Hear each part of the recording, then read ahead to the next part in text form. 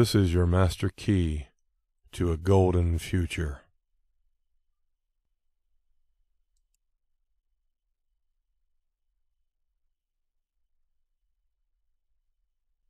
CDL Manual Section 5 Air Brakes. So this Section 5 contains two parts, the introduction and subsections 5.1 through 5.4. The introduction is very small. It's just essentially one paragraph, and here it is. So we'll go over this introduction right now, and then we'll start looking at the subsections. So to begin with, introduction. This section tells you about air brakes. If you want to drive a truck or bus with air brakes, or pull a trailer with air brakes, you need to read this section. If you want to pull a trailer with air brakes, you also need to read Section 6, Combination Vehicles.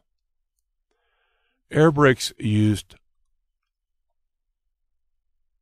air brakes used compressed air to make the brakes work.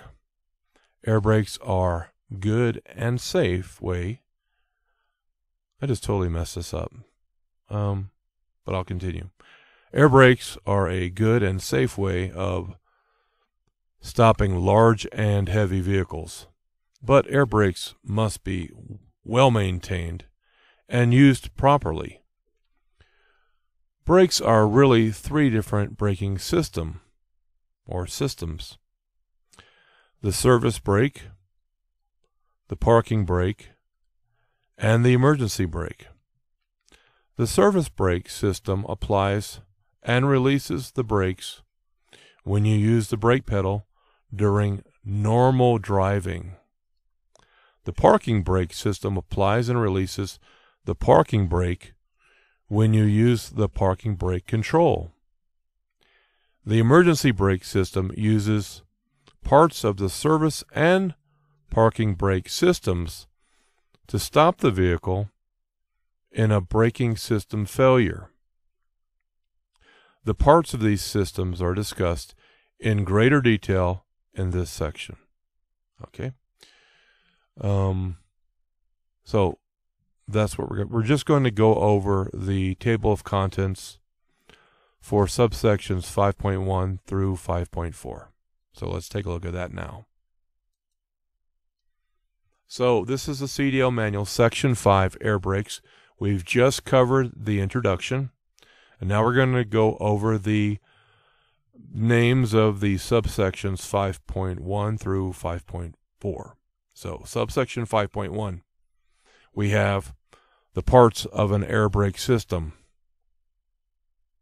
Section 5.2, dual air brake. 5.3, inspecting air brake systems, and 5.4 using air brakes. So 5.1 the parts of the air brake system and those break down into and this is covered in the section you have the air compressor the air compressor governor air storage tanks, notice plural, air tank drain or drains, air tank drains.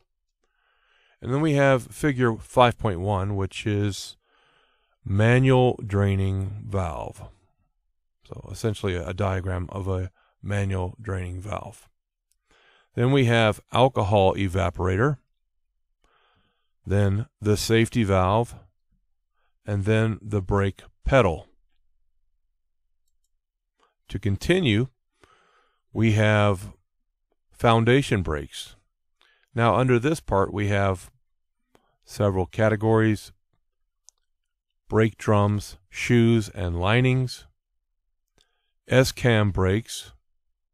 We have figure 5.2, which is brake drum, followed by wedge brake, or wedge brakes, and disc brakes. And continuing 5.1, we have supply pressure gauges, application pressure gauge, low air pressure warning, stoplight switch, front brake limiting valve, and spring brakes. We also have parking brake controls. And we have under that, we have caution, then modulating control valves, then dual parking control valves. Then we have figure 5.3, which is the tractor protection valve and emergency trailer brake operation. Next, we have the anti-lock braking system. This is still under parts of the air brake system. So this is a part of the air brake system. Anti-lock braking system, otherwise known as ABS. We have figure 5.4, the air brake system's component and location. This is for a single circuit system. Then we have the knowledge test for subsection 5.1. Questions 1 through 6. These questions for section 5.1 may be on the exam, so it's well worth looking at them. Next, we go on to 5.2, or that's subsection 5.2, dual air brake, which is a very small chapter. It's or subsection, let's put it like that. It's only about a page long. Followed by subsection 5.3, inspecting air brake systems. Under that, we have during step two, engine compartment checks, followed by during step five, walk around inspection, which uh, also covers brake, um, check brake drums or disc, linings, and hoses. Continuing with, with subsection 5.3, inspecting air brake systems. We have step seven, final air brake check. And that covers low test pressure warning signal. Also, figure 5.5, low air pressure warning devices. Followed by check that spring brakes come on automatically. Followed by check rate of air pressure buildup. And lastly, we have test air leakage rate. Continuing, we have under step seven, final air brake check, we have check air compressor governor cut in and cut out pressures. We have test parking brake, and we have test service brakes. Then we have a knowledge test for subsections 5.2 and 5.3. And we're covering questions 1 through 6. These questions for subsections 5.2 and 5.3 may be on the exam. Finally, we have subsection 5.4, using air brakes, which covers normal stops, then braking with anti-lock brakes, then emergency stops, which covers controlled braking and stab braking, followed by stopping distance. Now here's a formula of kinds, which goes as follows perception distance plus reaction distance plus brake lag distance plus braking distance equals total stopping distance. Then we have figure 5.6, which shows a full size tractor trailer. And we have different speeds, different conditions for different speeds, I suppose you'd say. So we have uh, perception distance, uh, reaction distance. This is a breakdown on times for those. Brake lag, braking distance, and what would be the total stopping distance. Okay? To continue, we have brake fading and failure, then proper braking technique, then low air pressure, then parking brakes. We have a safety rule, which we'll go over later. Then we have law. Uh, pardon me. We have knowledge test for subsection 5.4. It's actually should be questions one through seven. And these questions for sec- subsection 5.4 may be on the exam. So this concludes this portion of the study of the table of contents for section 5, air brakes, of the CDL manual. Now, I recommend that we go over the questions referenced in subsections 5.1 through 5.4. At this time, we will only be going over the questions with no answers. This is so we can train our minds to be on the lookout for the answers which we will find in the study material. Later in subsequent videos, we will be going over the questions with the answers that we have learned. So now that we know what we are doing in this study, let us begin now by going over the questions.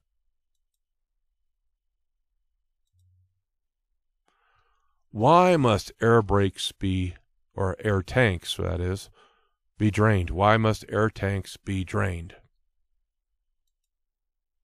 Hmm. I'll have to be on the lookout for that one. So, why must air tanks be drained? Is our first question. What is a supply pressure gauge used for?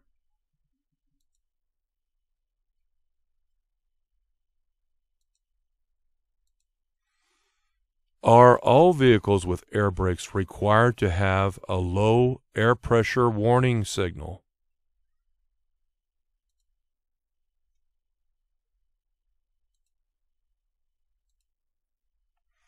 What are spring brakes?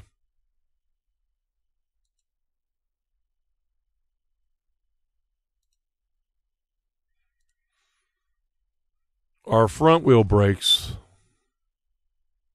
should be good under all conditions. So our front wheel brakes good under all conditions.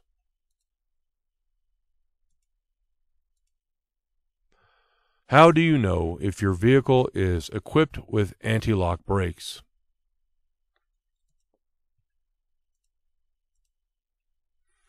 What is a dual air brake system?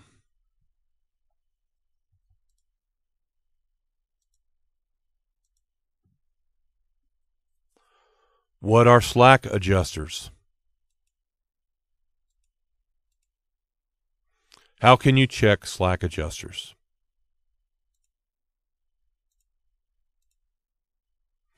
How can you test the low pressure warning signal?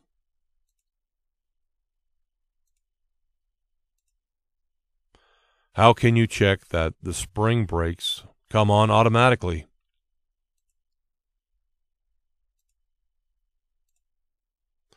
What are the maximum leakage rates?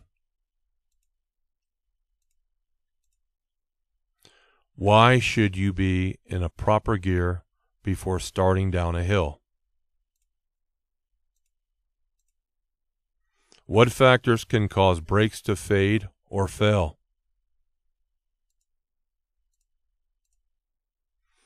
Is the use of brakes on a long, steep downgrade only a supplement to the braking effect of the engine?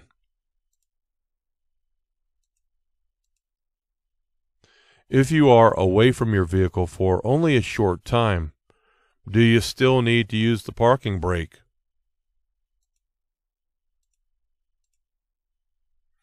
How often should you drain air tanks?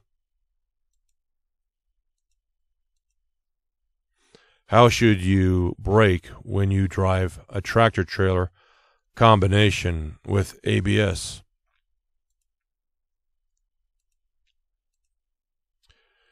If your ABS is not working, do you still have normal brake functions?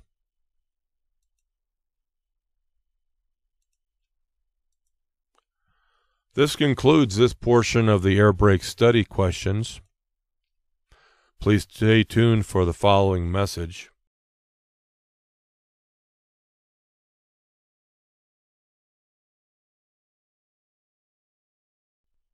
For PDF copies of my practice study exam with answers on a CD, please send $10 to Barry Branton, 445 Burlington Avenue, Missoula, Montana, zip 59801.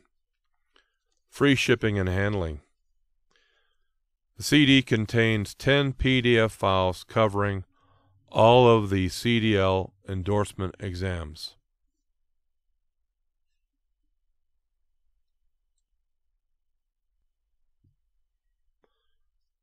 Air Brakes Endorsement Exam Study Series. I'm working on producing a DVD for this Air Brakes video series.